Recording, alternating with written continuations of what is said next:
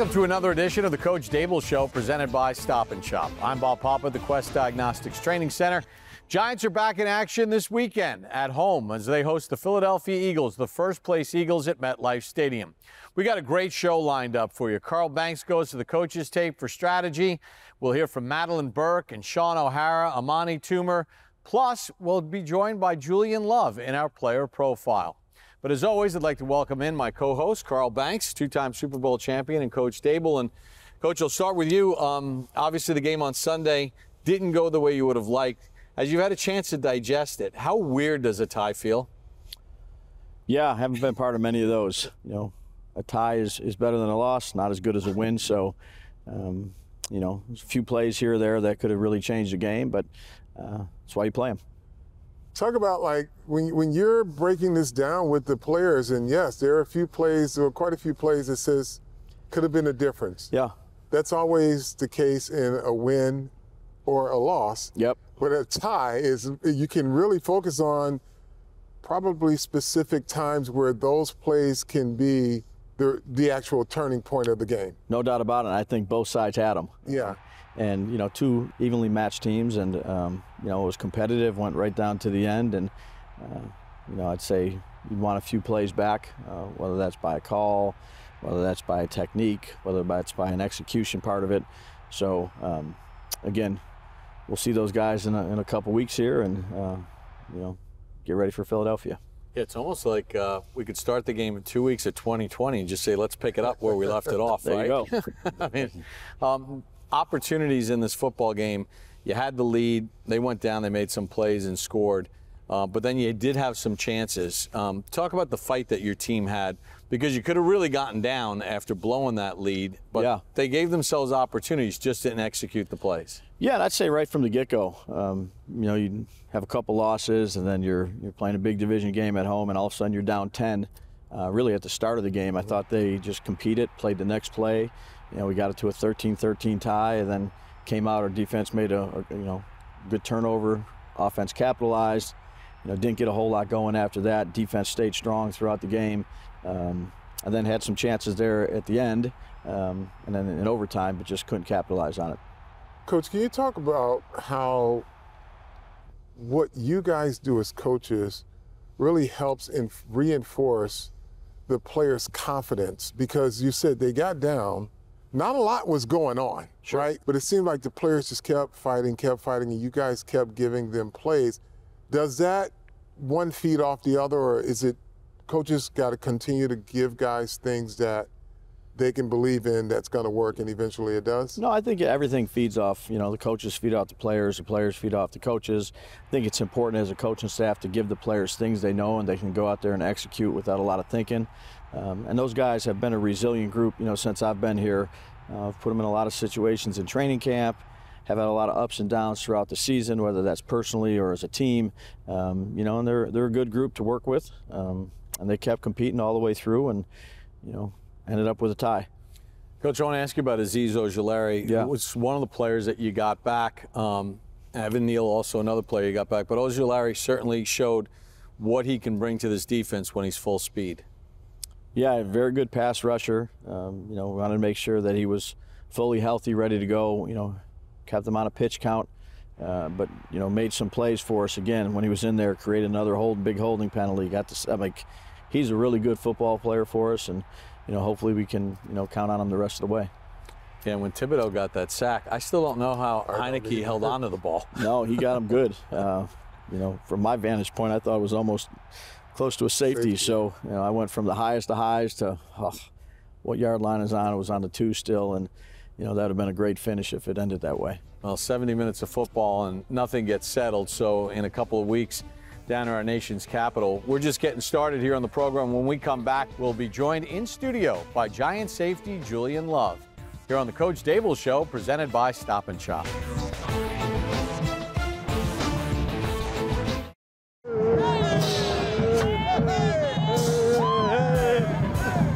I've been thinking about it. The one thing we gotta do as a unit is just pick each other up. Let's be great today, baby. Come on.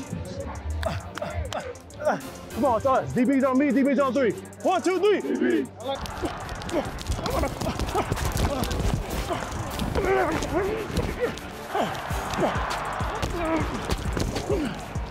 I think I got my swagger back. Oh, oh.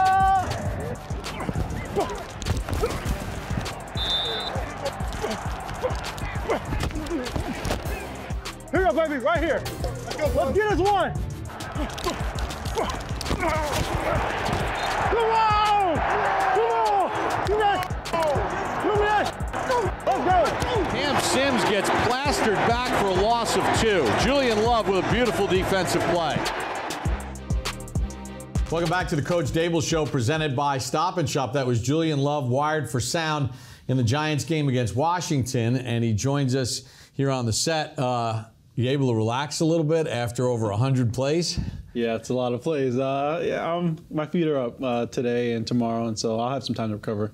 You know, the thing about this game is that it ended like a box set movie, so now we got to wait a couple weeks to the next the next version come out so we can see what the conclusion is. Yeah, the to be continued type Yeah. of thing. Uh, very weird, very weird feeling after the game. Like it was like, all right, is it over now? Like it, just anticlimactic almost. You guys battled back from a 10 0 deficit to get the game tied. Then you have the lead. Then they come back. Chances all over the place. What did you learn from this tie? Yeah, I think we did a lot of stuff well. I think we had a great energy. The defense uh, coming out of the second half, we forced a turnover, which that series in prior games hasn't been the cleanest for us. And so that's something we want to focus on. Our third down numbers were down uh, again. And so there's stuff to build on the defensive side of the ball that, I mean, our energy was great. And so, yeah, there's some plays left out there that we felt we should have had or could have had. Um, now, just kind of carry it over to next week. So when you look at that, and you know, in a normal game, four quarters, you either win or lose, and you say this was the difference in the game, right? And then you go into an overtime game, and you, you kind of look at it and say, this could have ended it, right? Or this could end. We don't get another opportunity. We don't get another series. If we end this, it's over. So that's kind of a different learning experience as well, isn't it? It is. You know, in the film room today, when we're going over stuff, it's like, oh, this play could have been huge for us. This play could have been huge for us.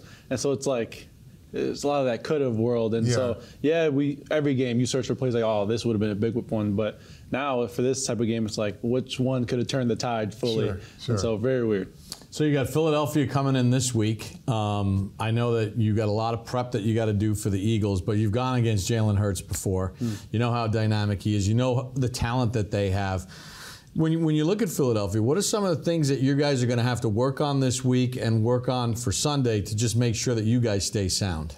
Yeah, well, first off, they run similar uh, to like a college-style offense because of you know the read option, the zone reads with Jalen Hurts and the threat he is running the ball, and so that's a problem that they kind of started to build into their offense in the past year or so. Um, and now you add a guy like uh, AJ Brown to the to the equation, and it you know it amplifies that offense. That's why they've been succeeding because they have just weapons everywhere. It feels like, and on the defensive side of the ball for them, I mean you got two of the best probably corners in the game right now, and uh, you have a, a solid front, and so it, it's no uh, mystery why they're successful this year because they have talented players. you know, you look at that offense, and it's probably it threatens you in so many different ways, right? They've got a really good running game, minus the quarterback, mm-hmm. and then you add the quarterback into the mix, and then his scripted runs, and then the ability to go down the field. Is this a, a situation where it is literally every man has to do his job and not freelance? Because once you do that, they normally find a way to make you pay. Without a doubt. You know, for the run game, like you said, without the quarterback involved, you got to play sound. Uh, you got to be aggressive. You need to strike. Uh, we got to play on their side of the line of scrimmage, and we got to just be disruptive. Uh, in the pass game, guys got to win their one-on-ones, um, and it's tough when you have talented players. But that's going to be the story of the game if we can win our matchups. Four years in the league, you got 88 tackles this year. You got a sack. You have two interceptions. You're playing a lot of snaps, and you become a leader. Um, talk a little bit about the evolution of Julian Love, the leader in the locker room, as to a guy who, God, your rookie season, they wouldn't even let you on the field for half the year. Yeah, it's been uh, it's been a grind. It's been challenging. I think, like you said, the leadership aspect is a part this year that I've really had to learn how to how to be and uh, what to do. Um, but it's come naturally because really I can just talk off my experience. Um, not many people have been uh, in this situation, have been playing defense here. Uh, who knows everyone in the building? Who knows what to do on special teams? Like.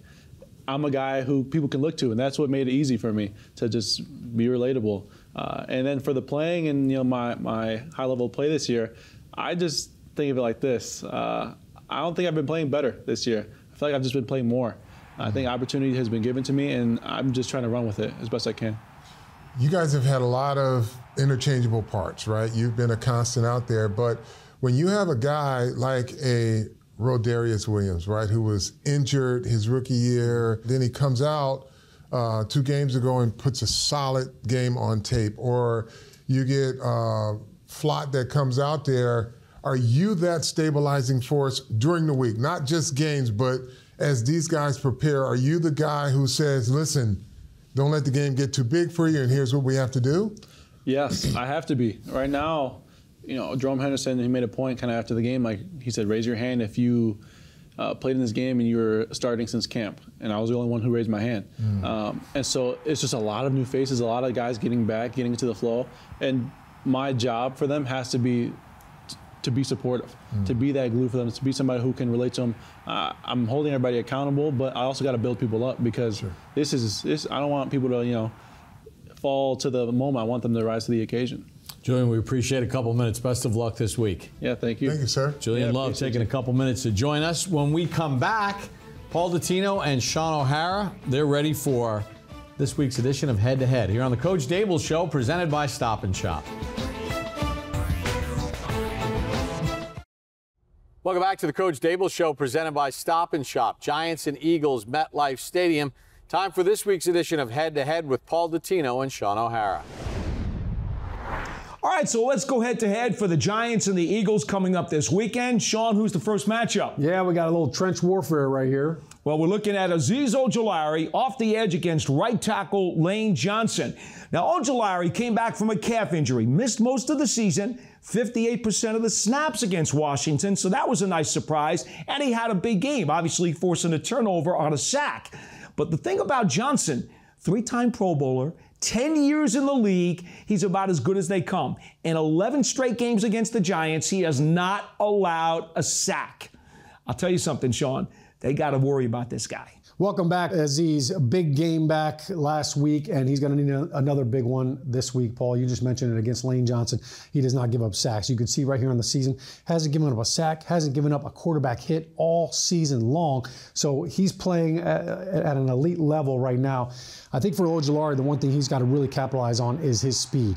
Not just the speed, but the fact that he hasn't played a whole lot of football. He's got some fresh legs compared to some of these other guys. So the speed is going to be a, a factor for Ojulari. He's got to get on the edge right here because Lane Johnson 437 pass blocks this season alone, and to not allow either one of those right there is pretty impressive.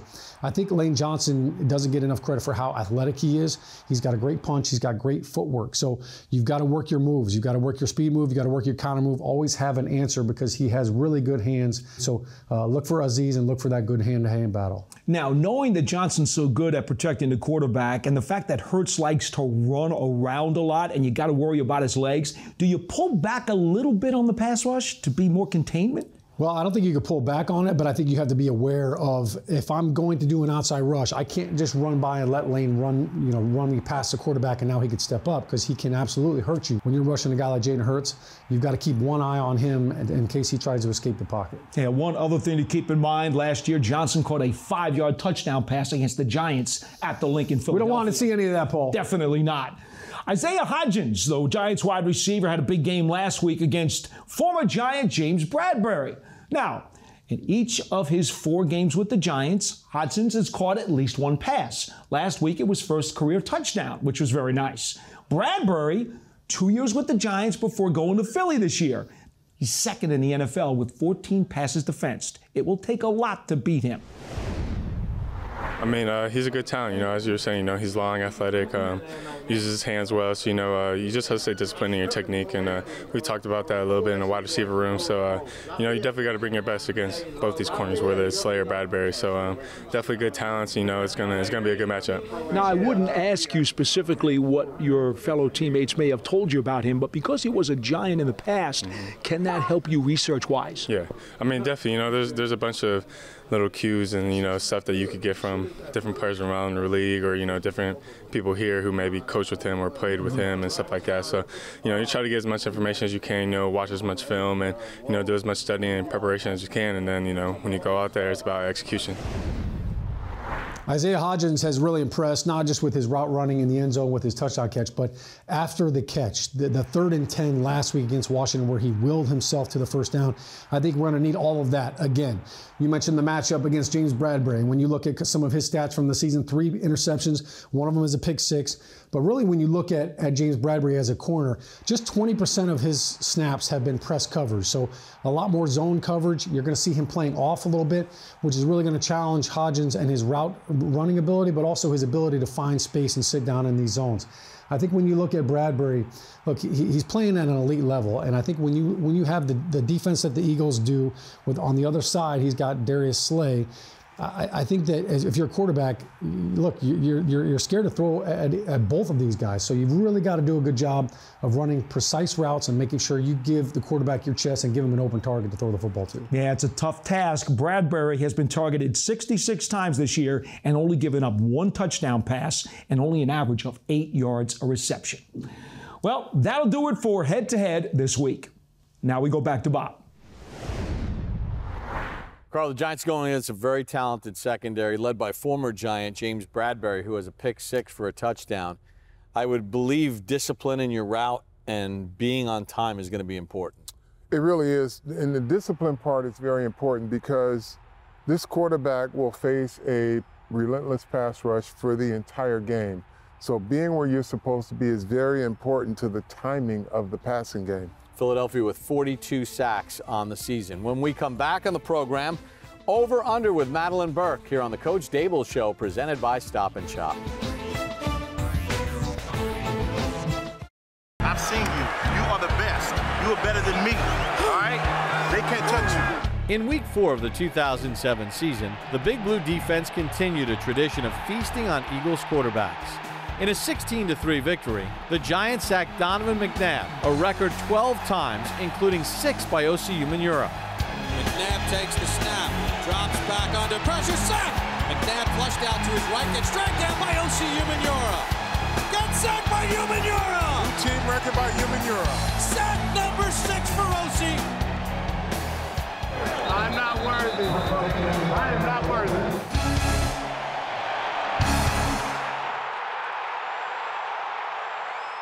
A dominant performance by Osi Umenyiora and Michael Strahan becomes the Giants' all-time sack leader all on that same night. As we welcome you back to the Coach Daboll Show presented by Stop and Shop, time for Over Under. Here's Madeline Burke. All right, it's week 14 and it's game time. A little over under for Giants, Eagles, Madeline Burke, Shaun O'Hara, Amani Toomer. Fellas, let's get right into it. Sean, I'm going to start with you here over under 200 passing yards for Daniel Jones against the Eagles. Well, 200 yards sounds very pedestrian right there. So I'm going to take the over. I feel like uh, a 200 yard stat like that, all you need is one or two big throws. And we've seen Darius Slayton come up with some big time catches. I think Daniel Jones has it in him. I think he go for three bills. Three bills. I don't know if I go for three bills, but I think he's going to go over 200 because you're right, it is pedestrian. Hodgins is also coming along playing well.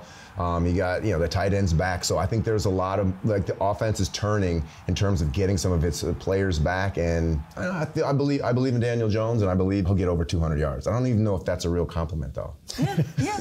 I mean, I'm going to go ahead and agree. I'm going to take the over as well. I got to give credit to our producer Natalie for hitting that number though, because Daniel Jones had exactly 200 yards passing last week against Washington, and the Eagles are allowing an average of 203 opponent passing yards per game. But like we've seen in recent weeks, they've been going a little bit more, taking some shots downfield. Let's take the over. Um, all right, Amani, defensively, over under two and a half sacks by this Giants defense. We got I the think, half. Uh, the half is, I think we're going to go over. Not because of anything, but, but just because, you know, when you have a quarterback like Jalen Hurts, he's going to lend himself to, to, to, sacks. So sometimes he'll be trying to run the ball and get caught behind a line of scrimmage. Those goes down as sacks as well. So I think I definitely they're going to go over two and a half sacks. Yeah, Jalen Hurts is still a young quarterback, um, but I look at this Philadelphia Eagles offensive line. This is the best O line that the Giants are going to face all year long, and I'm going to take the under on this because of that aspect of it. I also think that when you look at, at, at what the Giants have done. Look, five sacks against Washington. I think this is a different type of quarterback, so he will be able to get out of trouble. I'll take the under, but that doesn't mean that they can't still have a big impact. The quarterback hits and the pressures can be just as effective. This is a strong O line, but Jalen Hurts has been sacked 30 times this season, eighth most in the NFL. I think if the Giants can close in and they get a couple sacks, I can take the over on this one too. I don't. I don't see why not. Let's you just want to see you want to see Dexter dance. We get it. I do. I like the sexy Dexy sack dance. Who doesn't? Who doesn't? Um, all right, Sean. Over under combined point total of 48.5 between the Giants and Eagles on Sunday. Yeah, that's a big number. It sounds like a lot. I'm going to take the under on this for a couple of reasons. Number one, I, I think divisional games always tend to be a little bit scrappier, a little bit dirtier. I think this is a field goal game, and I feel like with the way the Giants defense has played, everything seems to just kind of be coming around that 20 point uh, differential and 20 to 23. So I'm going to take the under on this, even though I know the Eagles have scored a lot of points lately. Yeah, the Eagles have scored a lot of points lately, and so I'm going to go with the over. Uh, I think for uh, for the Giants to compete in this game, it's not going to be one of these you know field goal type games. It's going to be a game where we're going to have to put the ball in the end zone, and for give us an opportunity, I think we're going to go over. I'm going to go ahead and take the under only because the Eagles have scored a lot of points lately and the Giants have not. So for the Giants to have a chance in this game, this needs to be a low scoring game. I'm going to manifest this. It's the under. We're going under right here. Giants, Eagles, you know, keep it low scoring, make it a defensive slugfest on the field. All right, finally, Amani, over under 125 rushing yards by the Eagles. Ooh, I'm gonna go over. I think you know Jalen Hurts. The fact that he's such a, a good, effective runner of the football uh, and then he's going to open up for Sanders as well. I, I just feel like this this uh, offense is so diverse in its rushing attack with so many different weapons to do it. I, I definitely feel like they're going to go over. Yeah, I'm going to take the over on this as well. Two weeks ago, they rushed for 350 yards, and it seemed like everything they did was working. But uh, Miles Sanders, look, he's going to have his yards, and I think Jalen Hurts, he's going to end up having some yards, whether it's by design run or whether it's a quarterback scramble. So I'll take the over on that, but I think that that doesn't necessarily mean a, it's not a negative thing for the Giants. Right. I will agree and take the over as well. The Giants have struggled defending the run this year. The Eagles are a team that can run the ball, averaging over 150 yards on the ground. Jalen Hurts averaging 50 of those yards on the ground every game this season. So I think we'll see a lot of running in this game Sunday at MetLife. But Giants Eagles, MetLife Stadium, another division game. We hope to see you out there. That's a wrap for Over Under. Let's send it back to Bob and Carl. Well, Carl, you take a look at Philadelphia's run attack, and in the next segment, in strategy, we'll look at Jalen Hurts running the ball. But when you look at the backs that they have, led by Miles Sanders. This is a tall order for the Giants defense. Yes, uh, Bob, they come at you with waves of talent.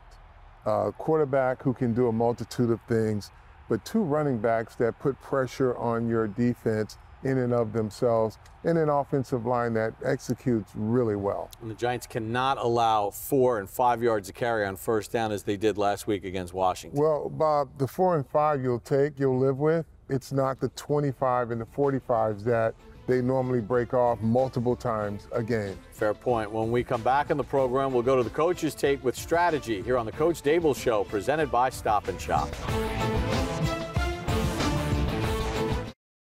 Welcome back to the Coach Daboll Show, presented by Stop and Shop. Sunday, the Giants host the Eagles' first meeting between these two NFC East rivals this season. And time for strategy with Carl Banks. And Carl, we're going to take a look at what Philadelphia does really well. They run the football, spearheaded by their quarterback, Jalen Hurts. Yeah, he is a, a really good passer, Bob, but equally as good a runner, but a playmaker. And here, what you're going to see is a lot of man coverage, right? And he sees man coverage and he knows that there are going to be some opportunities if the rush lane does not keep its integrity. And the other thing, they're going to employ a spy with second level help in case he breaks. So this is just pure playmaking here by Jalen Hurts. You'll see you got a spy here that's kind of just lurking. You got another one that's going to lurk in case this guy goes but he can also help on a crosser if it becomes a pass. Okay, so Jalen Hurts knows once this back takes him out, this guy's got to come up. But once he takes that, that defender out, now it's just pure effort and ability by Jalen Hurts. Yeah, he's got 20 touchdown passes, three interceptions. He's run for 600 yards, so he is truly a dual threat. Yeah, and when you look at this play close up, you'll see a lot of things that could have gone right. So you've got a rusher here, a rusher here, one rusher. This guy is what started the dominoes to fall. He gets pushed past the quarterback, quarterback sees an opening here, right? So once he sees that opening, the back comes out, he misses a tackle, second level, third level, misses a tackle, and he's off and running. He's not an easy guy to bring to the ground. No, we're going to take a look at uh, you know more of him in action and, and what they're able to do offensively. I mean, they score a ton of points and they go up and down the field on you. They do. Now here's what they here's a design run. So once he knows you're in man-to-man coverage, he's going to send this back out so that he can pull one guy out. Why does he do that? Let's take a look. Now he knows his center has got one guy to block and he's got a full lane to run through here because everyone else is man across the front. And once you pull one defender out of the middle of the field, pretty easy. Kelce comes through, blocks the second level, and he's off and running. So it's very dangerous to play man-to-man defense because they know how to manipulate it. And now this is just a classic example. We talked about his individual skills. Watch the arm talent here. Sideline throw, within two feet of the sideline, he drops it in the bucket. Yeah, and that's DeVonta Smith, talented wide receiver. Plus, they got A.J. Brown. Now, Philadelphia on the other side of the ball, they got 42 sacks this season.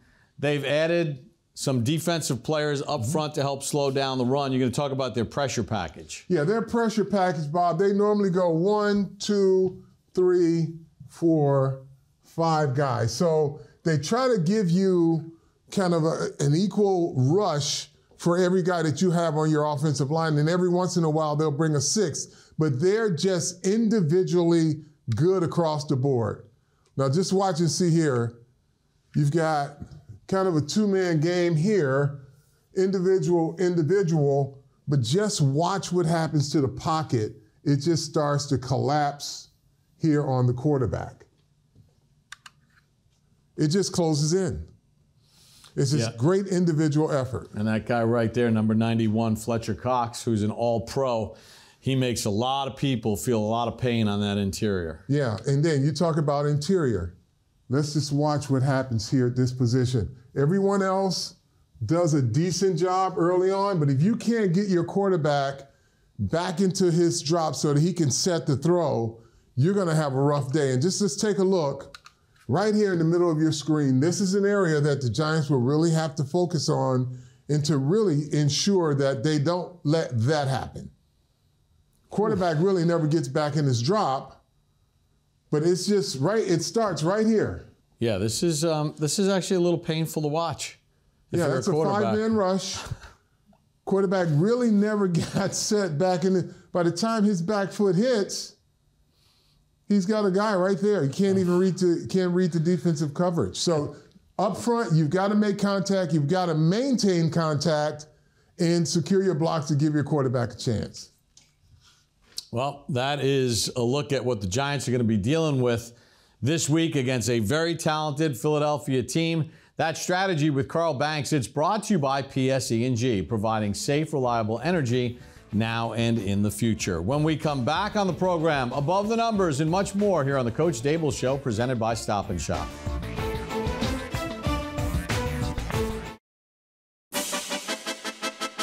In week three of their historic 2011 season, the Giants headed down the turnpike to Philadelphia for an NFC East battle against the Eagles in enemy territory. Big Blue would take the early lead as Eli Manning hooked up with Brandon Jacobs on the wheel route for this 40 yard score. Manning on a play fake to throw. Has time. He's got Jacobs open wide down the left sideline. Makes the catch at the 20. 10, 5. Touchdown, Giants. Little wheel route to Brandon Jacobs. And the Giants strike first. New York would add to its advantage later in the first quarter when Eli Manning connected with his newest target, Victor Cruz, and a star was born.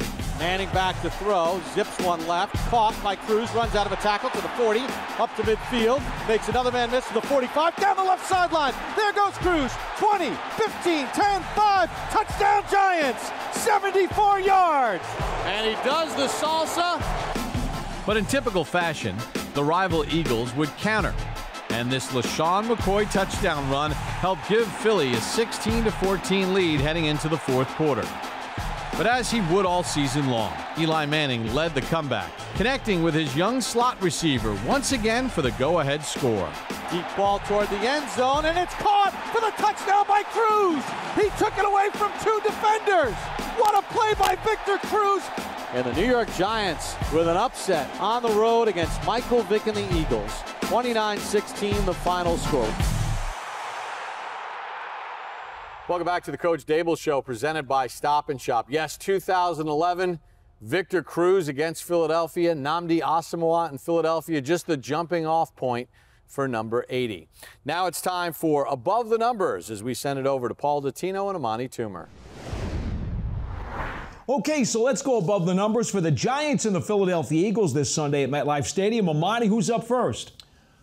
Well, he's our first pick, number five overall, like his jersey number, Kayvon Thibodeaux. This is a guy who is going to have a real issue this week going after Jalen Hurts. Not only he, do we want him to get him down and put pressure on him, but he's going to have to stay con- keep contained because of the fact that when Hurts gets out of the pocket, he really causes havoc, extending plays and allowing the receivers to get downfield. He's going to have to have his best game as a pro this weekend because of the fact that we're going up against the, the Philadelphia Eagles and their offense that seems to be unstoppable. That's a great pick, Amani, because when you talk about Thibodeaux, tied for second on the Giants with 10 quarterback hits this year, seven over the past two weeks. So he's really been on fire and had a season high five tackles last week against Washington. Okay, now I have selected Micah McFadden, inside linebacker, another rookie, oh, by the way. Now, McFadden had nine tackles last week against the Commanders. That is also his season high. He's been in the rotation now for the last five weeks, getting a lot of playing time, Amani, and I think that's important because the Giants like his athleticism. He's quick. He does have range, can get after a guy like Hurts, who's trying to run around and go sideline to sideline. And let's not forget, Philadelphia is fourth in the National Football League. They run the ball 51% of the time. So they will try to grind it out. And they are in the top five in rushing yardage and rushing touchdowns. One more thing Hurts and Sanders have nine rushing touchdowns apiece. They're very dangerous in the red zone. Micah McFadden is another example of Joe Schoen's ability to find talent. This guy is all over the field. He's been showing up for the last couple weeks. And I just really like the depth and what he's been able to do. And these are the type of guys that, against an athletic team in the Philadelphia Eagles, we're going to need athletes like this to, to run around and run and hit and really disrupt what the Philadelphia Eagles offense has been doing over the la- over this past season. Okay, Amani, so who has to be below the numbers this weekend? Ooh, should I even say it? A.J. Brown. This guy is having a phenomenal season. Uh, eight receptions last week, 119 yards, two touchdowns. And with our depleted secondary, he's going to have to have hopefully a broken shoestring or something because this guy's a, this guy's going to be a problem. We're going to have to deal with him, and it can't just be from one person in the secondary. Wink Martindale is going to have to come up with a scheme to specifically stop this guy. May open up other things up, but the Giants cannot allow A.J. Brown to beat him this weekend. He has been dangerous all season long. For the season, nine touchdown catches. That's tied for fourth in the National Football League. He's top seven in the league in receiving yardage and in reception average at about 15 and a half yards a pop. Now, there is one team that did slow him down. It was Washington. The only loss that Philadelphia has had this season, it was back in week 10 four targets, one catch for seven yards. He claimed early in the game he had a sore foot and that was part of the reason he didn't do so well. Yeah, I used to do that too. Whatever. That'll do it for Above the Numbers this week. Now let's go back to Bob. Carl, A.J. Brown had a big game last week against his former team, Tennessee. DeVonta Smith shows up each and every week. The Giants have to try to limit the big plays from those guys. Yeah, uh, Brown is the guy who self proclaims himself always open. and he normally comes up with the ball when they throw it to him.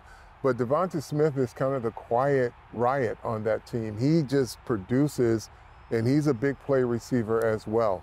And between Kayvon Thibodeaux getting a sack last week and Azeez Ojulari back, they need those guys to really have big games against They do. They have to have big games. They have to impact both in the run versus the run and versus the pass. We're going to take a timeout when we come back. Coach Daboll rejoins us here on the Coach Daboll Show, presented by Stop and Shop.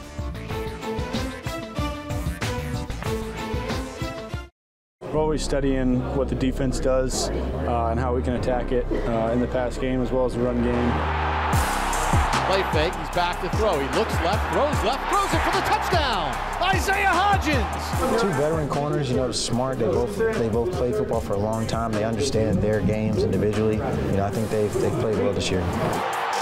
Mills fires, picked off inside the four. Bradberry. They're a good team. They're an explosive offense. They got a good defense. Got to play our best ball, and, and uh, that's the goal. That's what we're preparing to do.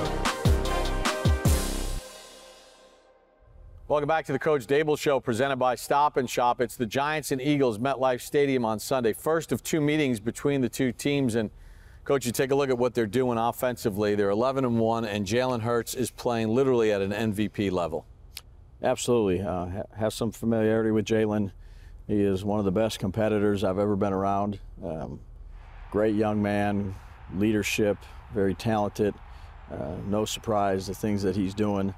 Um, just uh, he's the best. Coach, when you look at the weapons they have offensively, and he is probably a three in one weapon because he can throw it, he can run it, and he's just as, as good a scrambler as they come yeah. on non designed runs is the key just to have your discipline up front. There's going to be some plays that he's going to be better than just yeah. because of his ability, but for the most part, it really does come down to just the integrity of of what your scheme is. If not, if you try to freelance it, it just makes matters worse. Yeah, he's usually a better freelancer than the, the people Yeah. that he's playing against when he needs to. But he's, you know, he's afforded a lot of time with that offensive line led by Kelce. He's doing a fantastic job as he's, you know, the last however many years he's played, and and the weapons around him, they're, they're tough to they're tough to defend. They have a good running game. Uh, they have good coaches. You know, Nick Sirianni and I worked together. Uh, he was a receiver coach when I was a coordinator at Kansas City's, kind of from the outskirts of Buffalo too, so a little bit younger than me, but um, fantastic coach, very talented team. I think Howie's done a great job of putting together that roster uh, with a lot of very talented players, really at all levels. Um, so it's no surprise they're 11 and one. Yeah, and those receivers put a lot of stress on your defense because they make contested catches and they can run right by you if they need to. Yeah, they can. They can contest a catch. They can run after catch. They can run by you. They got you know good quickness in and out of breaks. They got a good scheme. Um, you know they're best Good. team in the league. Yeah. Let's go to the other side of the ball. Fletcher Cox has been doing it at a high level. They got outstanding corners. They added Suh. They added Linval Joseph. Plus, they got the rookie who they just got off injured reserve. So they're a multi-layered defense too, aren't Yeah, they? All three levels. Uh, say they're tough to run it against. They're tough to throw it against. But how they've been playing, you know, their offense has been scoring a lot of points. That allows them to go ahead and do what they do really good, which is rush the passer and you know cover. And um, it's just a challenging group all the way around. When you look at it, uh, it'll be our biggest challenge yet. Yeah, when you look at it as a challenge, coach, the I guess the biggest one is trying to keep your offense on schedule and not having the second and longs or the third and really longs, right? It's just it's trying to stay in manageable situations, understanding that they're going to make a play or two, but you just can't compound it with things like um, unforced errors, like procedural penalties and things of that nature.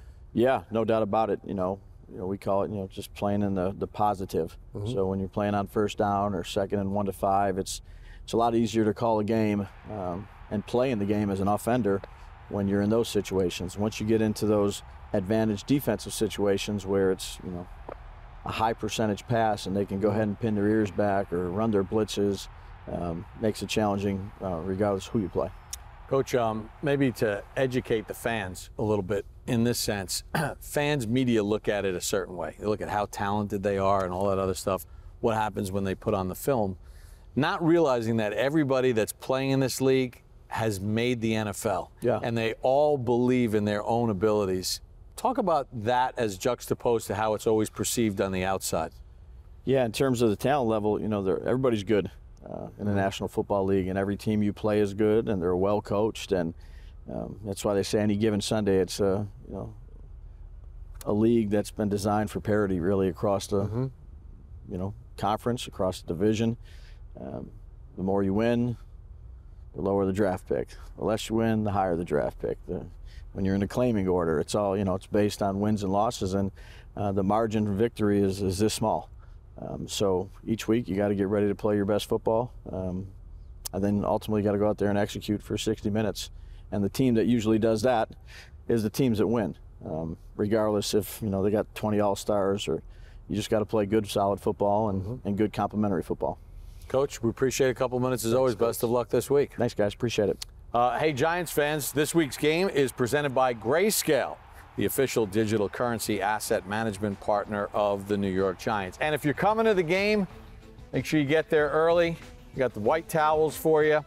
And this is presented by Citizens, the official bank of the New York Giants. So for Carl Banks, Coach Daboll, and our entire crew, I'm Bob Papa. Thanks for joining us for this edition of the Coach Daboll Show presented by Stop and Shop.